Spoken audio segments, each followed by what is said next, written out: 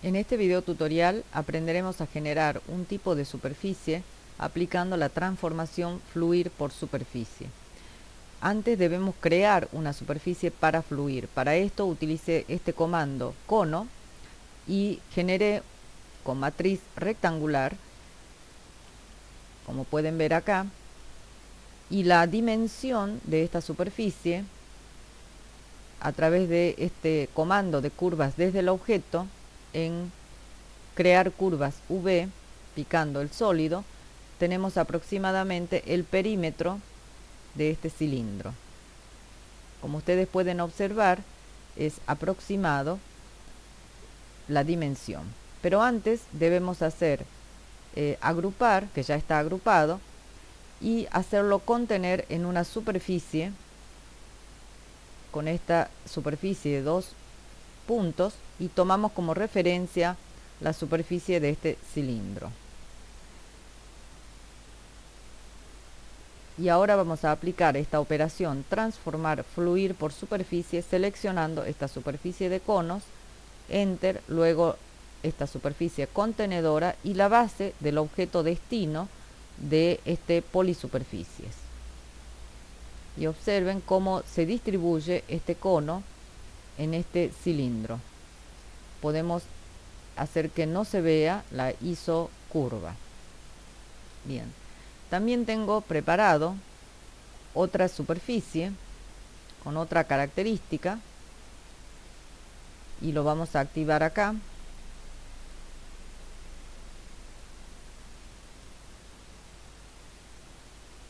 Verificar que estén agrupados primero. Luego contener estos objetos en una superficie.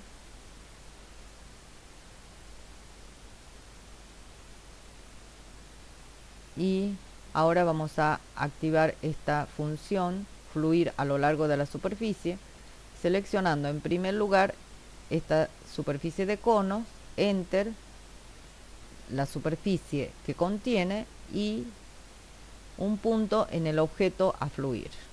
Y observen que demora un poco ya que son muchos objetos. Podemos frizar esta superficie. Observen la deformación. Vamos a desactivar las isocurvas. La deformación que se produce de este cono al ajustarse a esta curva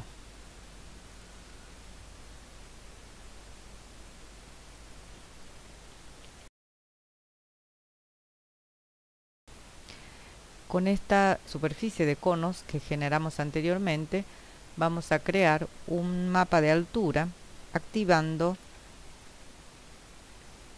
mostrar buffer Z.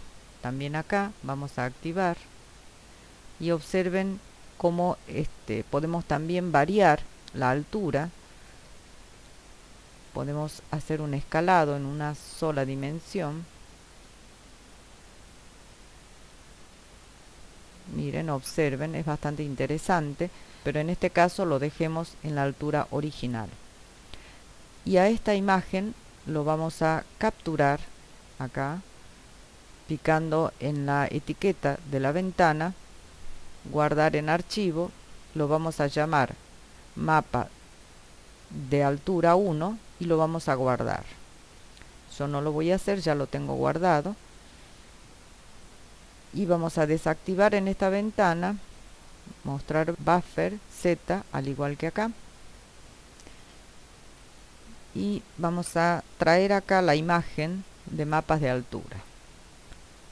Es mapa 1 lo vamos a insertar en esta ventana de mapa de altura lo dejamos en valores por defecto. Y como queremos hacer fluir sobre el cilindro que teníamos creado anteriormente y el perímetro lo teníamos acá vamos a copiar este perímetro para recortar el mapa de altura. Vamos a copiar acá. Primero vamos a escalar porque vemos que el perímetro es bastante más grande. Vamos a escalar. Veamos aproximadamente hasta acá hasta acá. Podríamos mover un poco.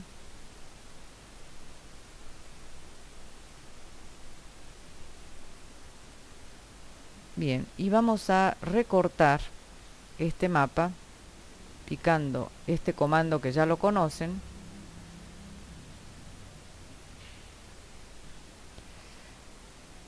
Y activemos el sólido que tenemos acá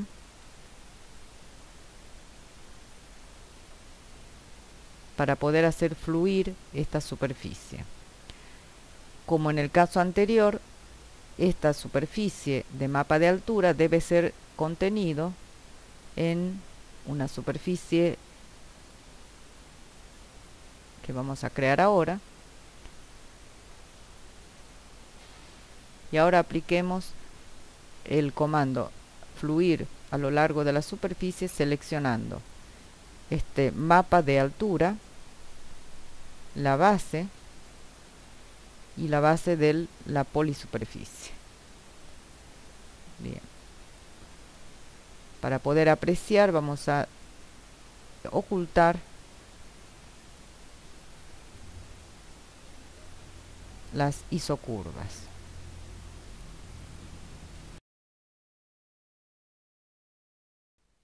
Esta superficie que ustedes pueden observar aquí es un mapa de altura generado con el paso anterior variando la altura del cono. Vamos a aplicar entonces la operación fluir a lo largo de la superficie picando la superficie, la base de la superficie y la base del sólido. Vamos a activar también una superficie que tengo acá esta superficie tiene estos círculos porque lo queremos recortar. En primer lugar entonces vamos a hacer fluir esta superficie a lo largo de esta forma curvilínea que tenemos acá. A esta forma queremos recortar en este punto y ya tengo dibujado el círculo.